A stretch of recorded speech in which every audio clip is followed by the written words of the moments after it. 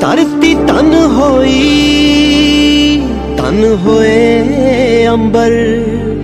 ਸਭੇ ਦੁੱਖ ਮੁਕੇ, ਸੱਚੇ ਪਾਤਸ਼ਾਹ ਜੀ। ਹੱਥ ਬੰਨਦੇ ਆ, ਮੱਥਾ ਟੇਕਦੇ ਆ।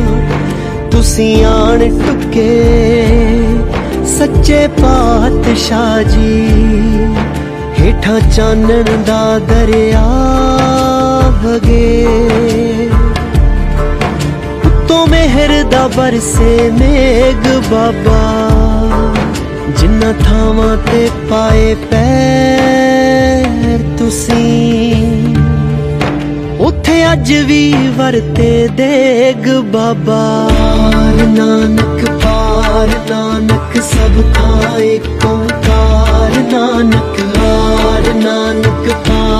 ਨਾਨਕ, ਸਭ ਥਾਂ ਏਕ ਓੰਕਾਰ ਨਾਨਕ।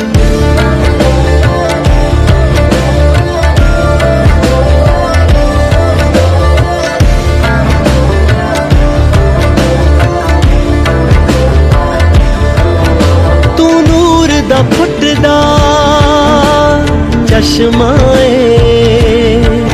ਤੂੰ ਰੋਸ਼ਨੀਆਂ ਦੀ ਰੇਖਾ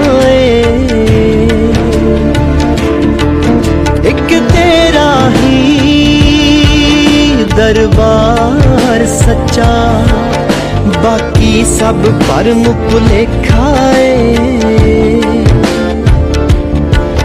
ਤੇਰਾ ਸ਼ਬਦ ਸੁਣਾ ਵੈਰਾਗ ਹੋਵੇ, ਤਨ ਮਨ ਦੇ ਬਦਲਣ ਵੇਗ ਬਾਬਾ। ਨਾਨਕ ਵਾਰ